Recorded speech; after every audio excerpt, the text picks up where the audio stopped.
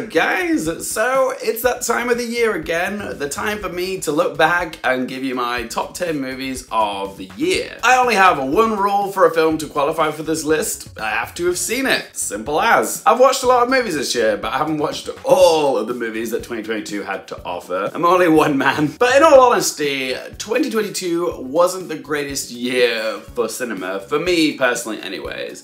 Like, don't get me wrong, we did have some absolute gems. Gonna talk about those gems later in the video, but Generally, this year did feel a little bit underwhelming. It actually wasn't as hard for me to pick the top 10 movies of the year for me. Normally, I have about 30 films that I have to like whittle it down to. This year, there was about 18. So yes, there was less truly amazing movies for me to pick and choose from. Side note, before we get started, I do actually have reviews for all the movies in my top 10 of the year, so if you want a more in-depth discussion about any of these movies, you can find the reviews on the channel. But for this video, I'm just gonna give you the cliff notes of why I loved all of these movies. So with number 10, I always find that this is the hardest slot to fill because it's like the last entry on a top 10 and you've got multiple films to choose from to give the last slot too, so you gotta think, what film is blessed enough for me to give a slot in the top 10? And this year actually came down to two animated movies, funnily enough. And that's why I wanna give an honorable mention to Joel Crawford's Puss in Boots The Last Wish.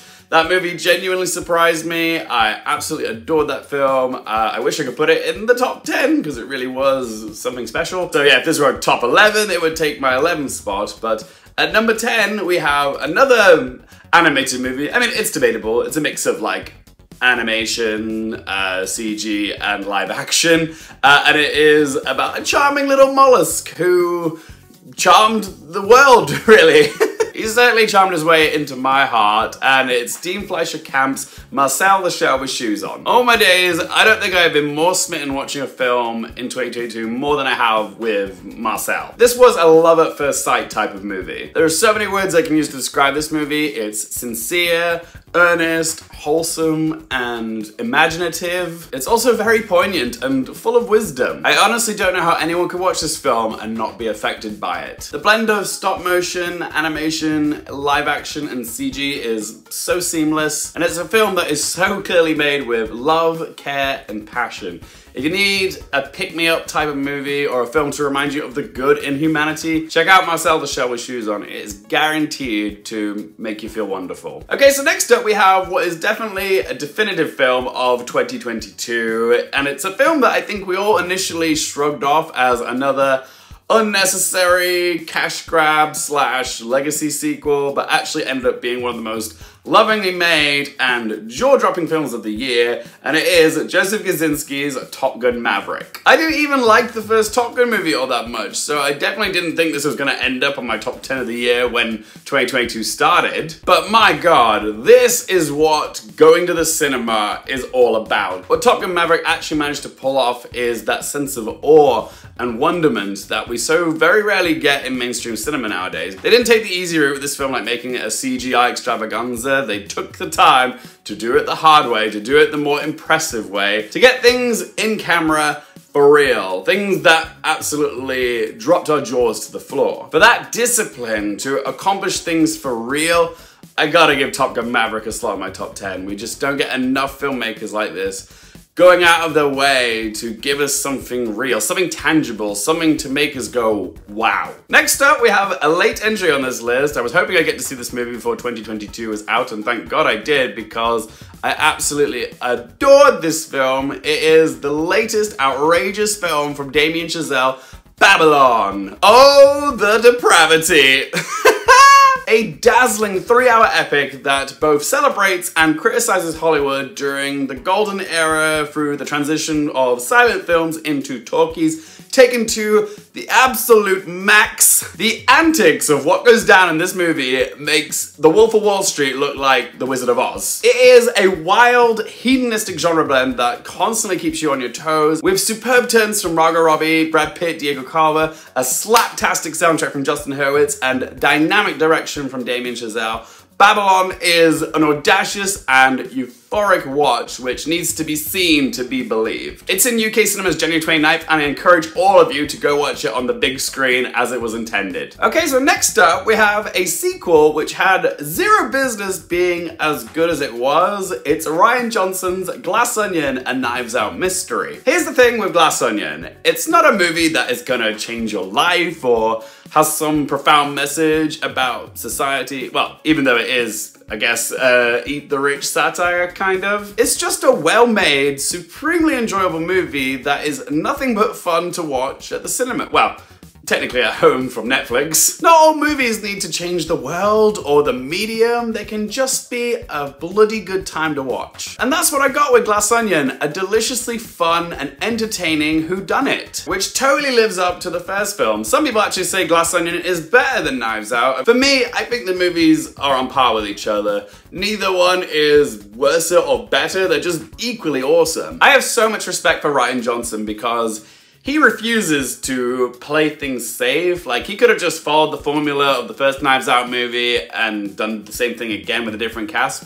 No, he took some risks with this one, with the story and the structure, and they all paid off tremendously. If you haven't seen Glass Onion, I highly recommend it. Check it out on Netflix, you can stream it there. And speaking of Eat the Rich satires, next up on the list we have the delicious Palme d'Or winning Triangle of Sadness from Ruben Östlund. If you guys have been watching my channel for a while, you'll know that I love a social satire, so it's no surprise that Triangle of Sadness made it onto my top 10. Not only is it a bloody fun watch, it is a film for our times. A vicious dissection of the rich and the beautiful, taking jabs at white privilege, influencer culture, the fashion industry, gender roles. It is a bit of a gross out comedy in places, but it is side-splittingly funny and a very worthy Palme d'Or winner. And if you haven't seen it, I highly recommend checking it out. It is a film that will shock you and delight you. Okay, so next up we have another film that had its debut at this year's Cannes Film Festival, and this was the little indie movie that could. It's Charlotte Wells' spellbinding feature film debut,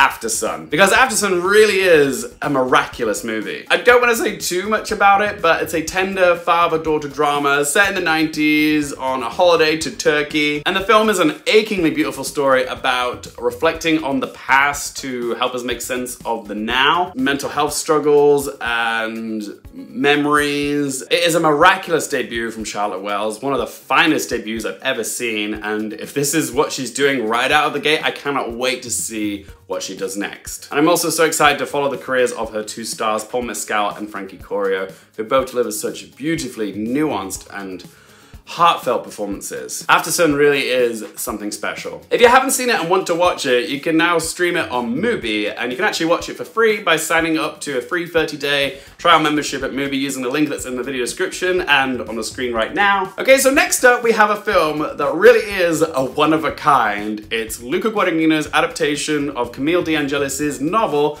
Bones and All. I honestly think there are only two filmmakers in the world that could have pulled off a film like Bones and All. One of them is Guillermo del Toro, but more on him shortly. And the other is Luca Guadagnino, who somehow marries the summer love sensibilities of Call Me By Your Name with the grotesque body horror of Suspiria. It's a genre blend which almost sounds impossible to pull off, but Luca Guadagnino makes it look so effortless, demonstrating his immense skill as a storyteller to get a tone like this just spot on. It's a film that makes me swoon over the romance, but also makes me go with the, the horror elements of it all. Like those two things feel like they should clash, but somehow Guadagnino melds them together. Timothée Chalamet and Taylor Russell are probably my favorite on-screen romantic pairing of the year which is insane to say because I'm literally watching a film where they're eating people. And I'm like, how? This should not work. And yet somehow it does. It's also one of those films that can be read and interpreted in so many different ways. And I love it when a film has layers of allegory and meaning, and it's unlike anything I've seen before. I'm trying to think of a movie that I can compare it to, and the closest thing is probably Julia Ducournau's Raw, but even that is in a category by itself. So yeah, this movie is kind of incomparable and that's what makes it special because I can't compare it to anything. I like that it exists in a box of its own but also doesn't fit into other boxes. It's definitely not a film for everybody, particularly if you're a bit squeamish, but I was surprised by just how much I ended up loving Bones and All. Next up we have my favorite animated film of 2022 which is from one of my favorite storytellers of all time, the aforementioned Guillermo del Toro who brings beauty, darkness, and whimsy to the overly adapted tale of Pinocchio. It's a story we've seen done a million times just this year. And just as we've seen before, nobody knows how to bring a fairy tale to life like Guillermo del Toro. Set to the backdrop of a rising fascist Italian regime, Guillermo del Toro's Pinocchio is probably the most adult version of the wooden puppet I think I've ever seen. It's very mature in its themes, but it's also a fun adventure for kids to enjoy with an absolutely gorgeous blend of stop motion animation and CG animation. It's just a match made in heaven of beloved auteur and beloved story. Next up we have a film which sadly flopped at the box office, but I genuinely believe will grow in appreciation as time goes on. It's Nicholas Stoller's gay rom-com Bros. I love this movie so much. I saw it three times at the cinema, once at TIFF, once at the London Film Festival, and once at the cinema because I wanted to go watch it with my boyfriend. A gay love loving a gay rom-com. Groundbreaking. Well, yeah, in fact, that is very much what it is. It was groundbreaking. To see that kind of representation in a mainstream, lewd, romantic comedy in an actual cinema was something very special to me. And I can imagine for a lot of LGBTQ people, because we've not really seen it on the big screen before. A film where 99% of the cast identifies as being queer, being in the audience for that very first screening of Bros at TIFF is something that I'll treasure forever. Because this shit actually matters, okay? This is progress. And I also loved how honest Bros was in depicting the gay experience, okay? It doesn't heteronormatize things for the straight people that might be watching the film, it actually dares to show all facets of our lives, the good, the bad, and the questionable. It actually shows the complexities and nuances of queer relationships and friendship dynamics. And it was genuinely hilarious from start to end, and for that, Billy Eichner deserves so much credit. I know it might not have been a runaway hit at the box office, but the quality is there, okay? It's evident in the end product, and I really do believe the film will find more of an audience on a streaming service someday. More people will watch it at home and fall in love with it. The word will spread and appreciation for this film will only get bigger. As is the way with many films, they may not be appreciated upon release, but as time goes by, more and more people fall in love with them. Before we get to number one, I do have some honorable mentions. I know I said 2022 has been a bit of a lackluster year, but there were still some wonderful movies that I wanted to give a special shout out to. They include The Banshees of Inisherin, The Fabelmans, The Woman King, The Inspection, RRR, Matilda the Musical, Tar, The Whale, Decision to Leave, Fall, Spirited, Nope, All Quiet on the Western Front, The Northman, Barbarian, Broker, Causeway, Dashcam, One Fine Morning, Lightyear, The Menu, Great Freedom, Weird, the Al Yankovic story, Funny Pages, and Violent Night. All right, so we made it to number one, and you've probably guessed what my favorite movie of 2022 is because at this point, it's very basic and pedestrian to have this at number one because it's so popular and it's probably half of film Twitter's number one film of 2022. It is, of course, The Daniels, Everything Everywhere All at Once. Yeah, it might be an obvious pick, but for good reason. Everything Everywhere was the movie of 2022. The little indie movie that could, which spread like wildfire thanks to the power of word of mouth hype and actually lived up to the hype. A totally original movie managed to make over a $100 million worldwide, okay? That is something to celebrate. A, an original movie getting that many bums in seats, okay? Wow. And that's because it was a smart yet fun and accessible movie, which was a genre blend of sci-fi, fantasy, kung fu, action, family drama, adventure, and goofy comedy, uh, which still hit hard emotionally and spoke about the immigrant experience, as well as parental pressure and the universal existential dread which we feel in everyday life. Again, it's another film that just shouldn't work. It's like the Daniels threw every idea they had at the wall and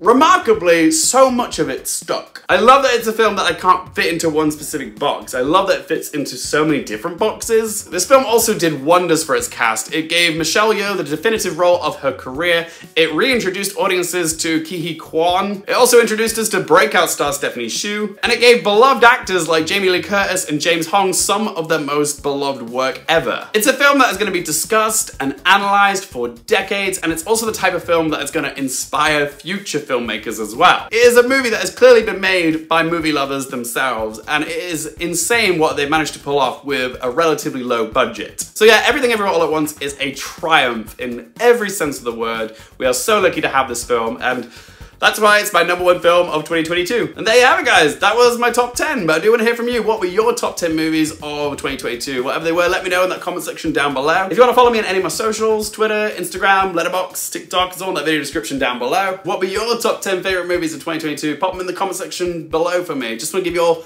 a big thank you for supporting and watching and commenting on my content that I made for this year. Plenty more coming in 2023, yeah, so stand by for that. Uh, please do help support the channel by hitting the little thumbs up button, and if you haven't done so already, please do click subscribe, helps me out massively. And for more things related to movies, TV, the Oscars, and popcorn culture, I'm Luke Hearfield, and I'll see you in 2023.